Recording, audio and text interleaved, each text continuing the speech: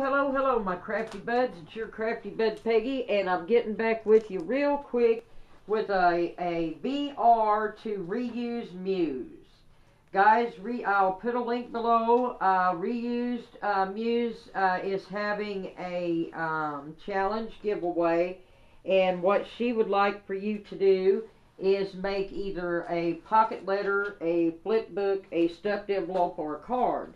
And you guys know me, I just, I can't stop. I have to do it all. And she's got a list uh, below of a lot of things that she'd like you to use some of if you'd like, uh, but that she's really into. And so I kind of tried to go with one of her themes on there. Uh, she likes black and white photos and shabby chic. So I said, okay, why don't we do black and white vintage ladies? And so that was my theme for this, guys. And so to start it off, I made her a card. And I love this image right here. And it's got the uh, Cry Me a River poem behind it, which, you know, I have to really look at to even see. But I love the lettering. I just love that style of lettering. So I went ahead and printed this out. Now, I did it all in black and white. And then I used a uh, Martha Stewart corner punch to uh, try to go around this edge right here, guys. I used the loop one.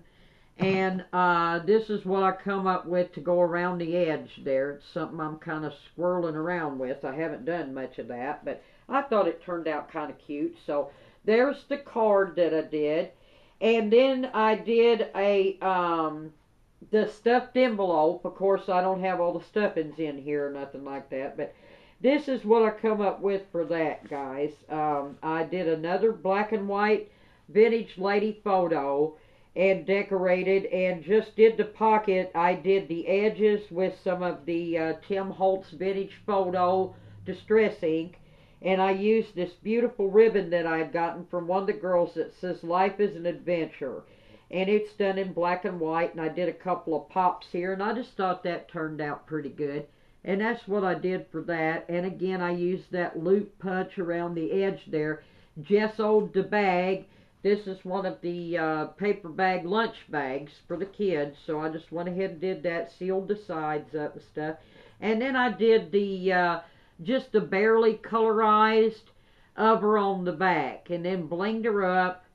And uh, kind of went with that. So it kind of helped hits with a couple of her favorite theme there. And then I put a little bit of bling in there. And then I did some tags to go in them. I did this one, which is kind of vintage and a little shabby chic looking, I think. Just some tags.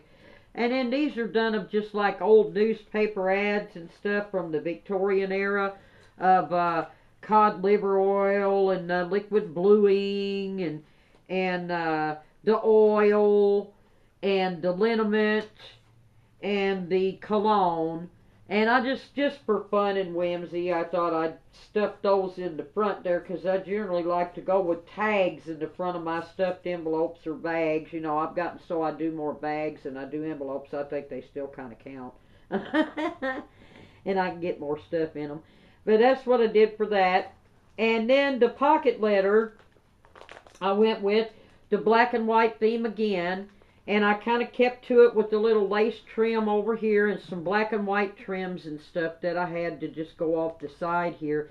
And these are the, the pictures that I come up with. And again, you know, like I said, just black and white and just some bling and some lace trim down the middle of them. And I picked this one because it kind of represents me. Hi, the horse girl. Here I am. And then the back, I'm not going to show the back because I've got some goodies stuffed in there, but I did something new with that too on the back of the black. I did one of my um, gorgeous girl designs, or not my gorgeous girl designs. The uh, the one I got, uh, y'all, I shared this with you. This is one of the Prima Bloom girls, and I got her because she looks like my sister Molly. And uh, I just put her on the back with silver silver uh, stamp ink on the back and she's kind of puzzled, and then I just kind of gessoed around her on the back to keep with the black and white theme. And then, guys, um, what I did with the, uh, I did the flip book, and she likes hands. She does hands in just about all of her work. So I did the, the vintage girl again, and then I cut out a couple of hands and I magnetized them and doubled them and made them so that they would, uh, God, I hope I don't get none of this ink I've been stamping in here. Uh, her hands intertwine like this. I just thought that was something pretty decent. I mean, I don't know what y'all think about that. And then inside, uh, I'll put, you know, bling and sparkle and stuff like that. But this is one of the uh, cereal box uh, flip books that I was telling y'all about that I just covered front and back with my um, decorative papers. And then just put the hands underneath the, the, the back one here so it would uh, shut. And I, I washi taped them together. And like I said it's just made out of cereal boxes. And I white gessoed them and uh, cut four by six.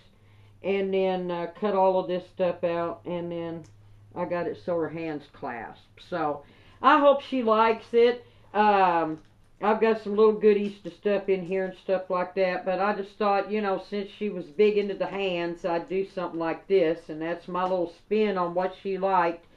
And uh, again, guys, this is for Reuse Muse.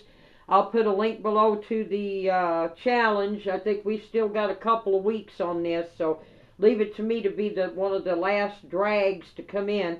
But um, anyways, guys, uh, those of you that's been here, uh, thank you for every minute that you spend with me.